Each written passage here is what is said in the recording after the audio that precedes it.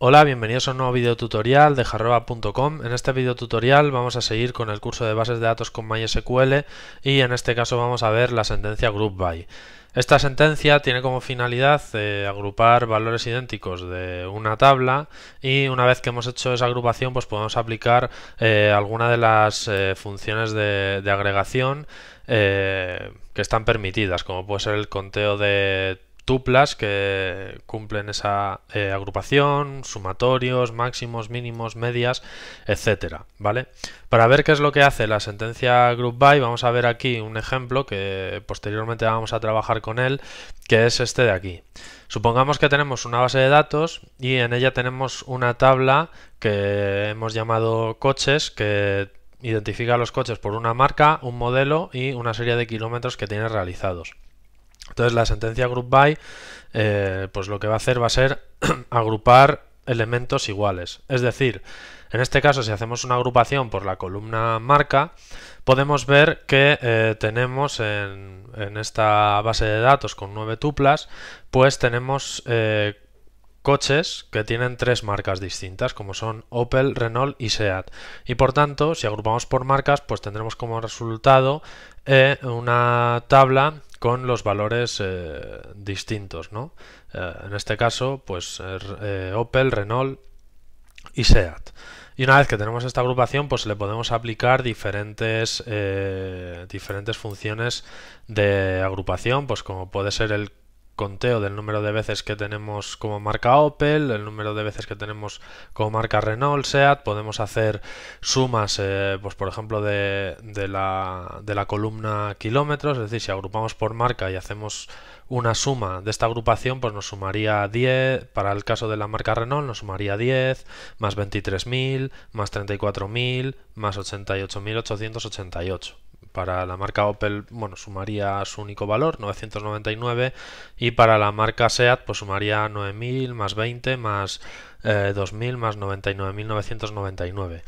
Y con estos, en este caso, he explicado la de la suma, también hace la media, el valor máximo, el valor mínimo, las desviaciones, las varianzas, etcétera.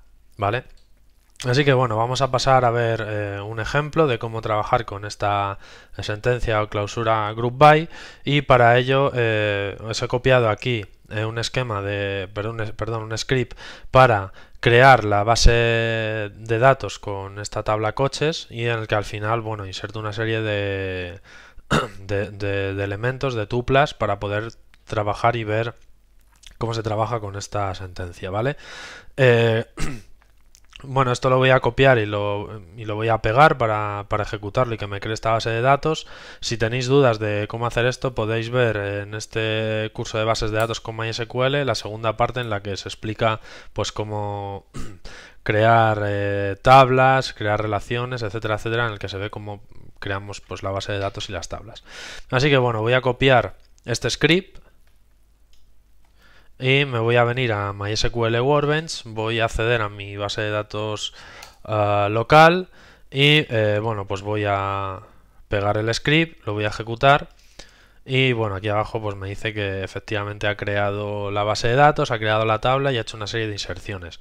Si me voy a la parte a la parte izquierda, refresco y ya puedo ver mi base de datos, que la han nombrado mi primera base de datos, y las tablas que tenemos, que en este caso es la tabla coches. Si pulso botón derecho y selecciono, eh, hago una query de select all con un límite de 1000, veré como resultado todas las tuplas que tengo y bueno, como hemos estado en la imagen anterior, pues este es el contenido de, esta tabla, ¿vale?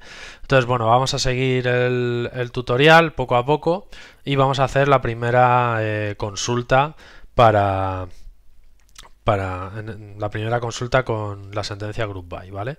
Entonces, bueno, en este caso pues voy a hacer una agrupación muy sencilla que es eh, agrupar por marca, ¿vale?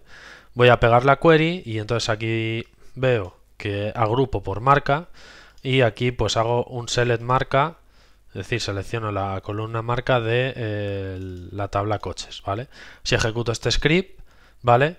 Pues vemos como resultado eh, pues los tres, las tres marcas distintas que tengo, ¿vale? Puedo hacer lo mismo también eh, agrupando por más, por más columnas. En este caso, pues puedo agrupar por modelo y por marca. Entonces, en este caso ya no, ya no tendré como resultado tres tuplas, sino que tendré como resultado eh, más que ya serán tanto la marca como el modelo. Vemos pues que tenemos eh, varios eh, Renault Clio, tenemos varios Seat Ibiza y bueno, pues aquí nos, nos dice cuántos coches con, y marcas distintas tenemos, ¿no? que en este caso son todas estas. Podemos posteriormente aplicarle una función de de esta agrupación, en este caso vamos a aplicar la función count, ¿vale?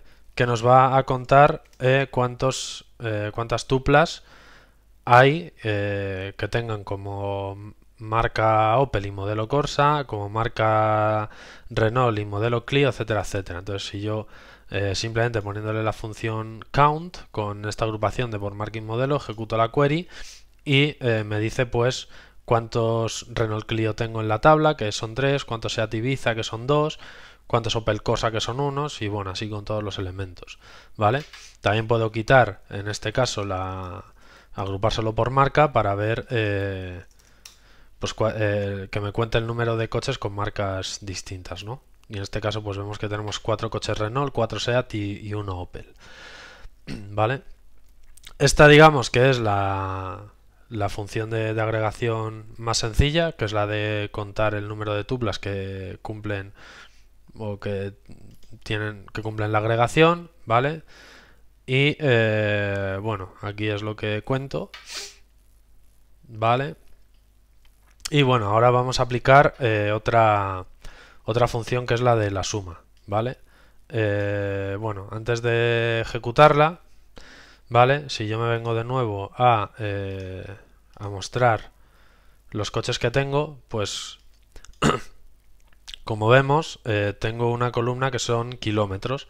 Entonces, si aplico esta query, la de cálculo la suma del campo kilómetros, una vez que agrego por marca, me agregará, me, hará una, una agrupación por marca, es decir, me hará una tupla que sea Renault y me sumará todos estos elementos de la columna kilómetros. ¿vale? Lo mismo hará con los coches SEAT y con los coches Opel.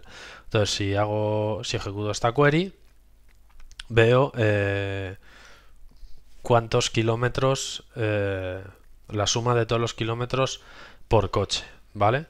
Aquí también puedo hacer que me lo ordene de, de mayor a menor. Si hago aquí un eh, order by, bueno, antes de nada tengo que ponerle un alias a la suma.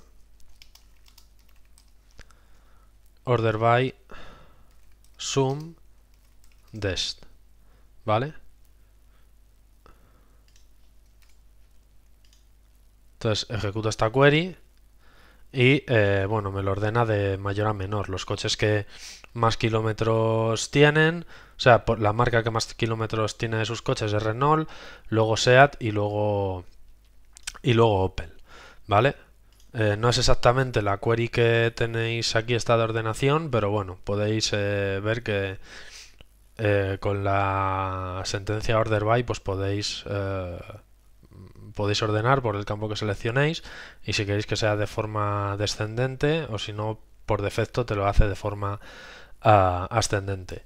Y bueno luego ya pues por último podemos agrupar por marca y eh, ver, eh, vamos a copiarlo, vamos a agrupar por marca y podemos obtener del campo kilómetros, pues cuál es de todas las marcas el coche que más kilómetros ha hecho o el que menos kilómetros ha hecho. Es decir, de la marca Renault, cuál es el que más kilómetros tiene, el coche que menos kilómetros tiene, lo mismo de la marca SEAT y de la marca Opel. Si yo ejecuto estas dos queries, ¿vale? Aquí como resultado tengo los coches, eh, o sea, qué coche ha hecho menos kilómetros, en este caso, cuál de todas las de todas las tuplas que son de la marca SEAT, pues cuál es el que menos eh, el, valor mínimo que tiene en esa columna, en este caso son 20 y pues por el contrario puedo ver eh, aplicando la función máximo cuál es el coche de determinada marca que más kilómetros tiene.